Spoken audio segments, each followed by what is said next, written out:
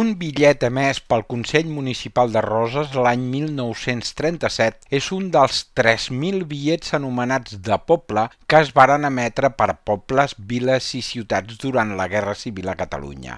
És el document del mes que l'Arxiu Municipal de Roses dona a conèixer aquesta setmana a través de la seva secció digital.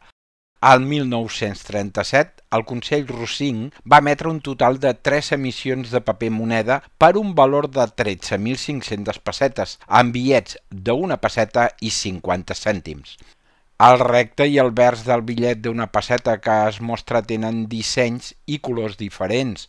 El recte és de color vermell i el vers de color verd. Com a curiositat, el bitllet de 50 cèntims tenia el recte de color blau. El bitllet el número de referència 2204 i va ser signat pel president del Consell Salvador Marcó Romanyac d'Esquerra Republicana de Catalunya i per ordre del conseller de Finances Municipals Sebastià Coll Espelt de la CNT.